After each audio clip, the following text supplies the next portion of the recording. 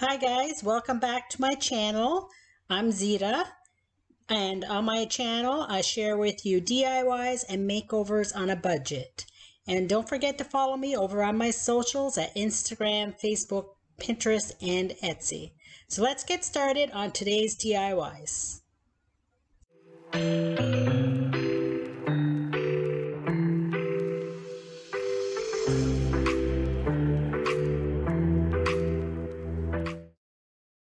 So today guys, I have a few fall DIYs for you. So my first DIY here, I picked up these three foam pumpkins from the Dollar Tree and I'm going to paint them up. Uh, first I'm going to remove the tags here and I'm going to paint these uh, this fusion color called Homestead Blue. So I'm going to paint one in this color and the other two I'm going to paint a lighter color uh, by American Paint Company called Rushmore. It's kind of like a beige color.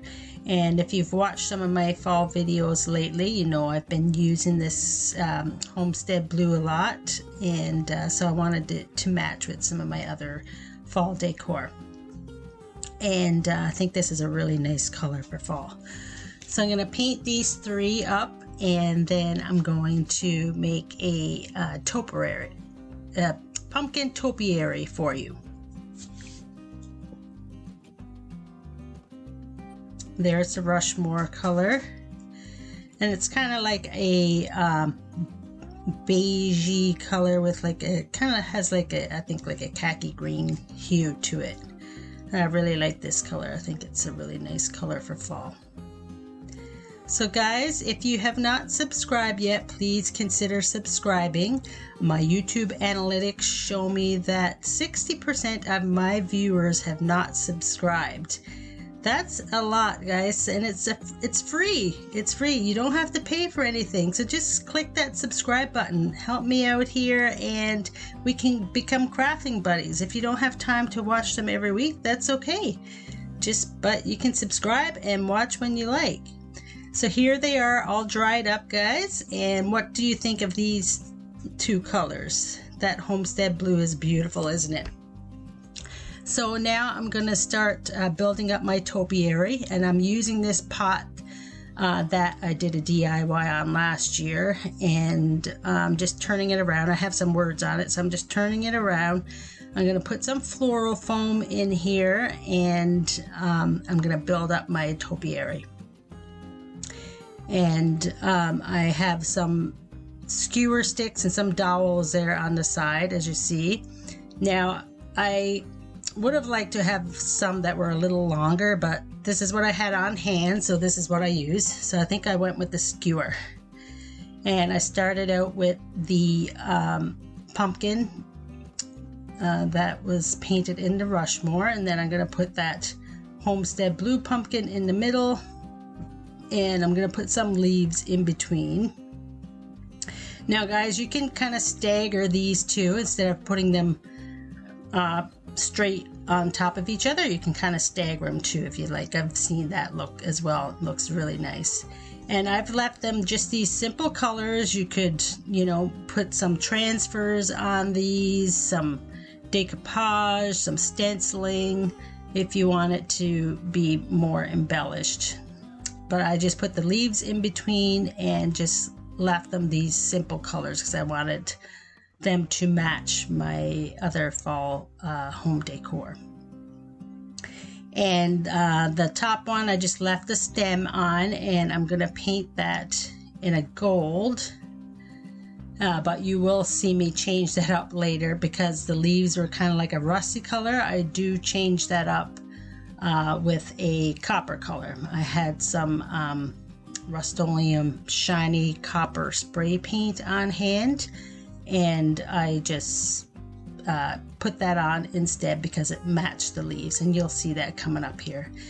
And I do take out the pumpkins and uh, put some um, moss in the pot as well to kind of cover up the belt that's on the on the pot and just to make it more fall like. Um, and I got this moss at the Dollar Tree as well. So this moss is to make it look more fall like. So you can leave leave this out if you don't want to use this. And guys, this is really messy, so um, it's gonna get all over your workspace. but yeah, I think it makes it look more fall like. And you can let me know what you think uh, once I have this in and you see me have the copper um, top there instead of the gold. And let me know in the comments what you think of this one. Do you think it's a little too plain looking or would you have embellished it more? Let me know in the comments guys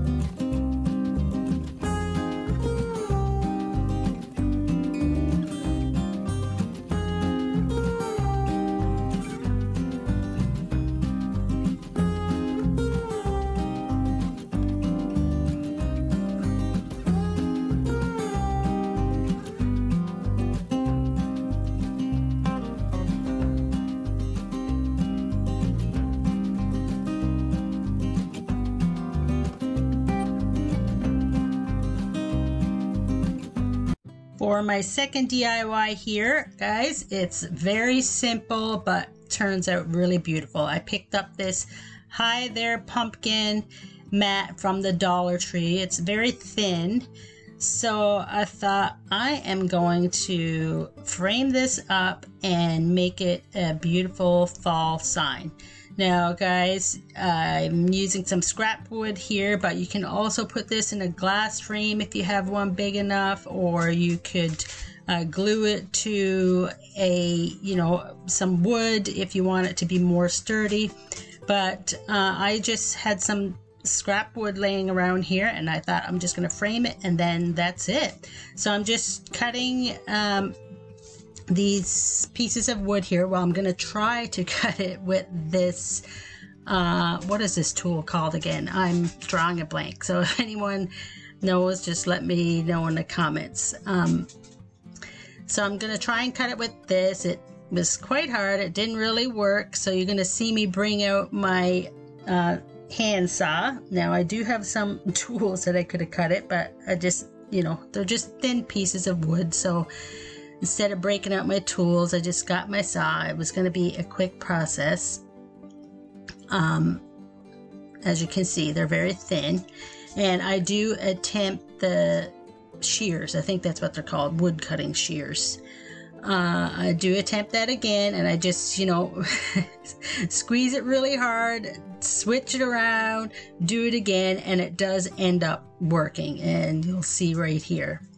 But if you don't have these guys, you can, if you have a, some kind of, you know, power tool saw you can use or just a hand saw you can use. So after I have them all cut and measured up, I'm going to sand these down and I'm just going to stain these guys, but I'm going to sand them down before I do uh, stain them. And uh, guys, Make sure you clean up your workspace after you sand it because you don't want that dust getting in your on your um, stained wood pieces. And I'm using a color here called Espresso. And I'm just giving that a stir. Uh, it's been a while since I used it, so I'm just giving that a stir. And guys, I usually put gloves on when I stain wood and I forgot. And oh my god, what a mess I made on my hands. It was a job and a half to get that stain off my hands. So, guys, if you're using stain, put uh, gloves on. Don't do what I'm doing here. yeah, like I said, it took me quite a few washes. I had to use like nail polish remover. I think I had some acetone in my house. I had to use that on my hands, guys, get that uh, off my stain off my hands. So put gloves on.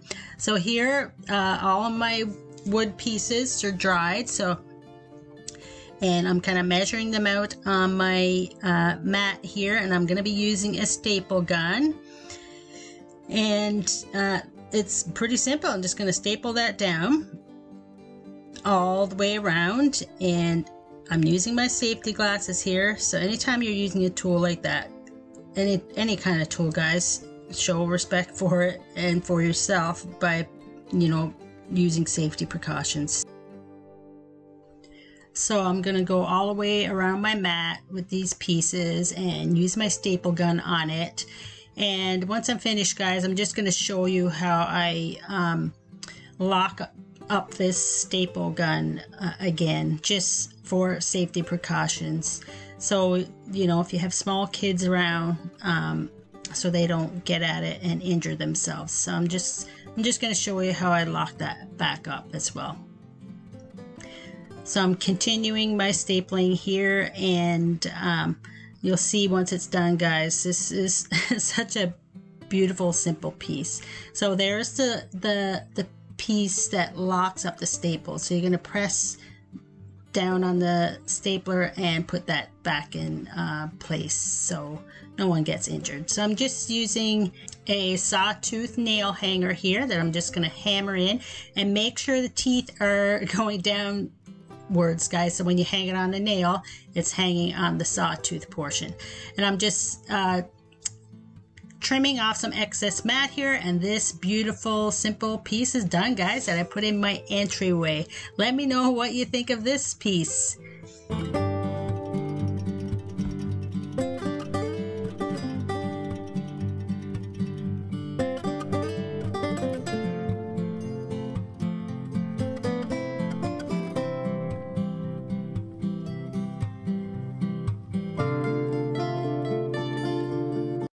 next DIY here, I'm going to be making a pumpkin for you with some decoupage words on it. So I picked up these pieces from the Dollar Tree, a wire pumpkin and uh, some Thankful Bless wood sign here. And I'm going to give that uh, coat of white uh, spray paint. Now I would have liked to had some chalk spray paint, but I didn't have um, any on hand. So I painted that up and now I'm going to put this beautiful orange and blue plaid napkin on it. And lately, guys, I've been using this uh, dental pick, which I use for my vinyl, to get the plies off my napkins because I have trouble with this sometimes. And this works absolutely great. So I'm checking my napkins here that I picked up from the Dollar Tree to see how many plies are on them, guys. And these are only two ply. A lot of the dollar store ones are only two ply. So you want to make sure you get every ply off because sometimes they're three ply and I have mistakenly not taken all plies off sometimes thinking that it was only two ply because it seemed very thin then it will bubble up on you. So I put my Mod Podge on the wood, painted wood here. Uh, when you paint it guys it's going to make your pattern show brighter uh, uh, than you know if you would have just put it on the plain wood. So I'm smoothing that out here with, um, I have an old plastic shower cap. It's very thin, so it works really well. But you can also use a, you know, a little plastic bag or some saran wrap. Now, guys, I'm putting my Mod Podge on top here. Usually I don't do this until the, um, the bottom portion has dried. But because it was just, you know, the straight um, napkin, I put the uh, top coat on. But now if I had my time back, I may have waited to do this afterwards because I'm going to show you the burning technique to get all that excess napkin off. Now I'm cutting most of the napkin off.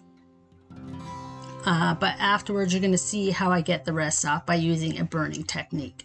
So now I'm going to work on my wire pumpkin here and um, I'm going to cut it into strips. Now, guys, I was going to put some um, material behind that uh, pumpkin, like drop cloth material, but just wasn't sturdy enough. So I went with these green and orange um, burlap strips that I had on hand uh, from last year. So I just cut those in strips and I'm going to wrap the wire um, pumpkin in these green strips. And then I'm going to put some of the orange burlap on the top portion of the pumpkin on the stem and wrap that in twine.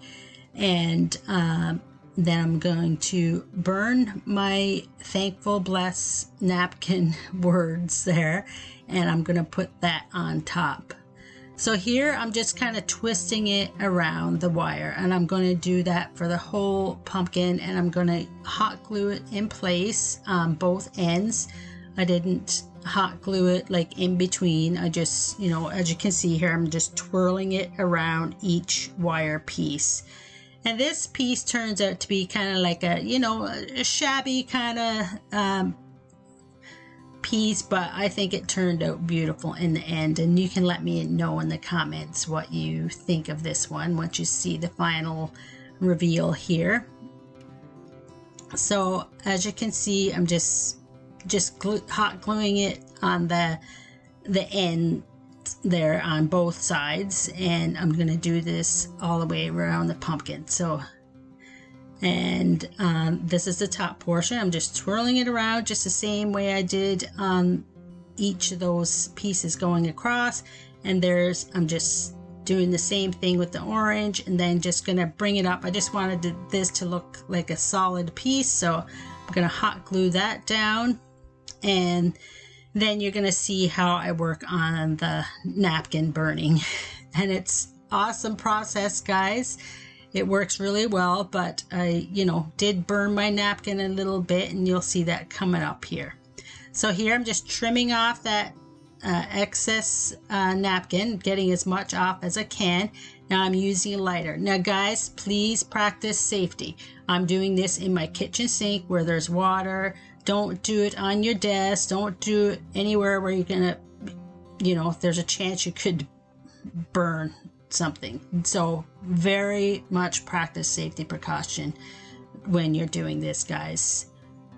Uh, so I'm just going to go all the way around and this took me a while. As you can see on the end there, it did kind of blacken up, but I guess it gives it that fall kind of look. So here I'm just taking a nail file, guys, and going around uh, all of those sides and in between and getting off the little bits of napkins that were left. And then I'm going to wipe it down to try and get some of that burnt off. And it got most of it off, but makes it look more rustic. Now I'm going to take some uh, white twine and tie that around. Um, I was going to hot glue it, but it wouldn't have stayed properly, I don't think, with this, you know, rounded edge. So I just tied some white twine and wrapped that beige and white twine around the top and this piece is done. Let me know in the comments, guys, what you think of this DIY and what you think of the other two, two DIYs. I hope this gave you some inspiration for your fall DIYs. I would really appreciate a comment and if you could click that uh, notification bell and that subscribe button and I'll see you in my next video. Have an awesome day guys. Bye.